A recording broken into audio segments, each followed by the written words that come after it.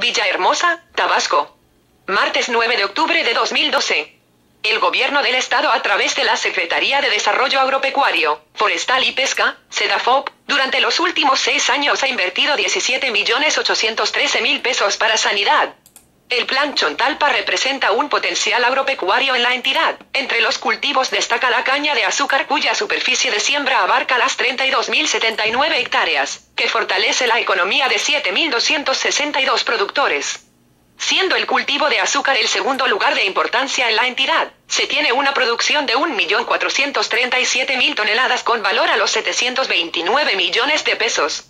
La presente administración ha destinado al sector cañero del Plan Chontalpa recursos por el orden a los 17.813.498 pesos a través de programas para el manejo fitosanitario, control biológico de mosca pinta, aplicación vía aérea de rodenticidas.